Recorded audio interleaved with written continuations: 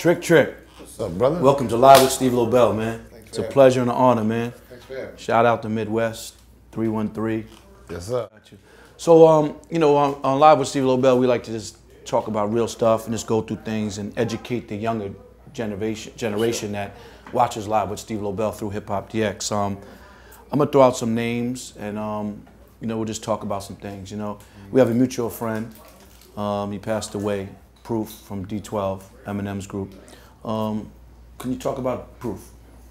Oh, shit. For two hours, to 20, 20, two days, two years. Proof is in the Goon Sqwad. Right. Before it was a D12. He was, uh, you know what I'm saying? He was, he was the third man. He was actually, don't, you can't look at, uh, what is that, uh, Wikipedia. That's the worst source of information in the world. But uh, he was actually the third member of the Goon Sqwad. Uh, it was me, Styles, and Big Proof. If you go look at the album cover, you see him stand me with a gun, Styles with a gun, and Proof without a gun. That wasn't his thing. you know, he was. You know, Proof was the cat that introduced me to the whole culture of hip hop.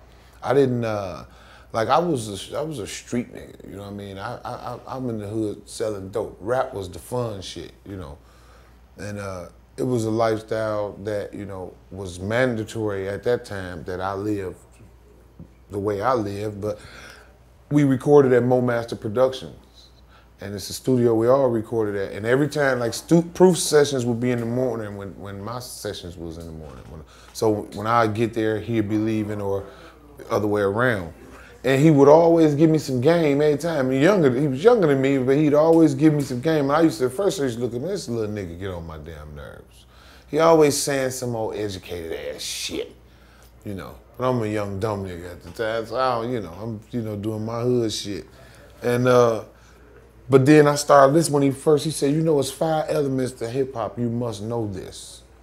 You can't be in rap and you don't know the five elements of hip hop. And I said, well, what the fuck is the five elements of hip hop?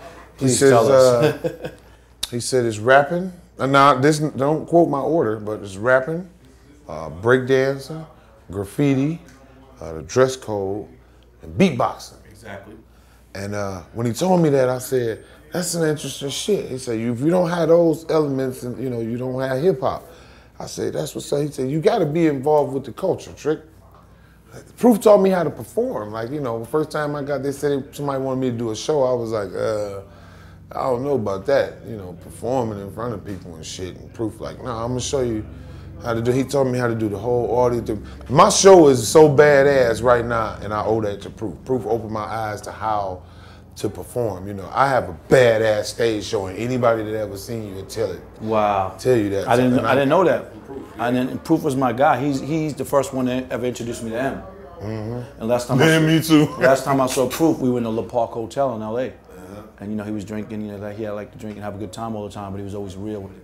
He didn't drink when uh, when he was with the Goon Sqwad. We had uh, we had uh, some some licensing gold success as independent artists, and we celebrate independent artists and independent record label, and we celebrated with Pipers and Moet and Proof. Still would not drink it. He's told me one time. I'll tell you some shit. Pete told me. He said, I said. Uh, Come on, man, we got, we just sold, man, we fucking independent. We just sold all these records. He like, he said, I know I'm with you. He said, but I made a deal with God that if I did any drugs or took any drink, I would lose my ability to freestyle.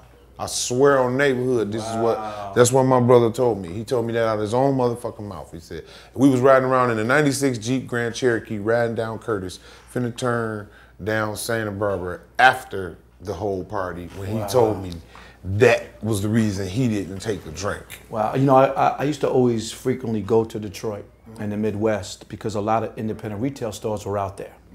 Um, and I would come out there with different artists like Fat Joe, Bone Thugs and Harmony, Common, Common Sense, and we go to independent retail shops. And I just was out there recently. I went to go visit um, Proof in the Mausoleum.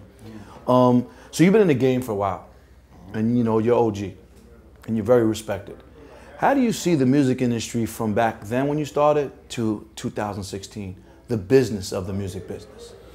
I say more, cats back in the day was more inclined to be in touch with the business aspect of it as uh, a little bit different now. Now people just want to be famous, and, it, and it's um, I, it's almost a, a musical epidemic because you got so many cats that just stay in the game, not for the culture, not for the talent, not for the. And I'm not, you know, I don't take away from nobody and what they do. Your gift is your gift, and how you express it and do it, that's up to you. But you know, if I had to judge from an, an executive standpoint and from an investor standpoint and from a consumer standpoint, I would not be impressed with what I see as far as uh, uh, the ethics and the, the workflow. Uh, that's amazing word right there. The workflow of today, it's like you sit on the toilet and you just click the link in my bio, click the link in my bio, download, download, upload, upload. Just, you know, and it's it's not nobody beating up the streets no more. Cats don't want to go see the DJ. You know, me personally, I'm tired of going to see the DJ. You know what I'm saying? That's just me though. I'm 20 something years going to see the damn DJ. But you gotta go see the DJ. Right. You know, and cats don't really want to go see the DJ. Right. What I talk about is always because I come from the era of promotional tour and taking vinyl to DJs, to the college radio, to mix shows, and you know, kicking the door open and getting a DJ to play the record, and putting up um, poster boards in retail stores, and giving out samplers and T-shirts and stuff, and that that is over now. Yeah. And, and I say that the younger generation now, they, you know, five years ago, maybe someone will sell their soul or snitch on their buddy to get a check to be famous. These days, the younger generation, they don't even care about the money now. They just want to be famous. They don't want to put the work in.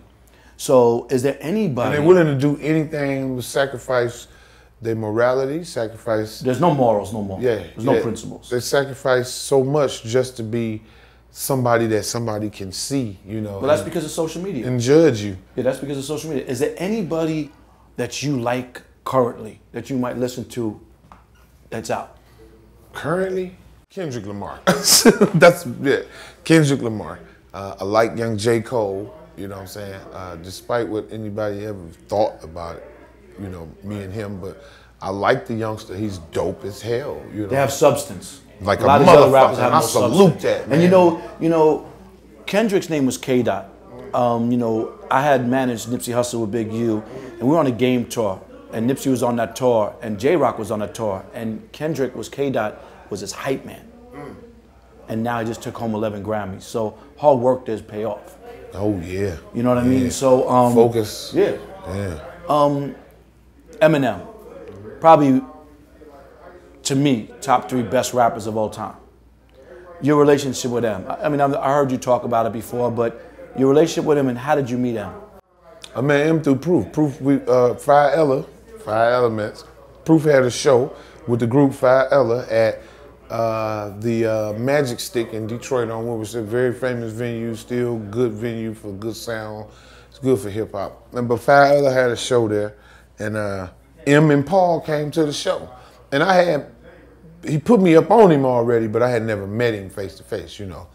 Um, but when I remember seeing M and Paul, and I told Proof, them some mean looking ass white boys, man. but uh, but that day, crazy. M was I, M was like, "Yo, Proof, let me hear some beats you did. You know, you need to get together and do some beats." And I was like, "Hell yeah, I got some beats for you." I said, "I'm gonna make a tape when I go back to the studio to Mo Master. I'm gonna make a tape of some of the beats I did, and then I'm gonna get it to you." I said, "But tomorrow, I gotta go to Alabama and do a show." When I got to Alabama to do the show, we had to go to Tennessee after that, and then back to Montgomery, Alabama, and then back to Nashville. So when I got back, I called Proof, hey, I gotta get these beats to Eminem. I called him Infinite. Nice. By mistake. Right. I was like, I gotta get these beats to Infinite. He laughing like a motherfucker. Who? I said, Eminem. He said, you know, he just went out there with Dre yesterday. Wow. I was like, that's dope as fuck, cuz. I said, Dr. Dre? He said, yes, Dr. Dre. I was like, I'm thinking to myself, what the fuck is they finna cook up? Jesus Christ, I can't wait to hear this shit. And the rest is his, the rest is history. Um, Detroit of Detroit versus everybody, right? It's funny. I just left Toronto and I met the cat who started it, but I met him a few times, so he gave me a hat said New York versus everybody. That song, Detroit versus everybody, with you and M and Big Sean and so on and so forth. What made you guys do that? You know what? I'm. It it was a Paul Rosenberg had the idea to do the song. And Paul's M's manager. Yeah, yeah. So it was his idea, and then he called Royce and was like, Royce, yo, I'm gonna do this song called Trick, and you know, let's get this shit cracking. Let's see see what everybody think about it. And uh, Shit, before you know it, Marshall was like, yo, when you coming to the studio? All right, I'll be there tomorrow. So went out to the studio and recorded it, had, you know, I did my part, you know, I listened to the whole record and did, did ad lib through the whole record and then uh, did the ending. But I did take that instrumental and took it to the hood and put 16 cats on their remix too. So Which was you know, amazing. Yeah, thank you. What's happening? It's your big homie Trick Trick. You tuned in to live with Steve Lobel. You understand me? Godfather trick trick. Either riding with us or getting rolled on. That means Detroit versus everybody. Hey, M.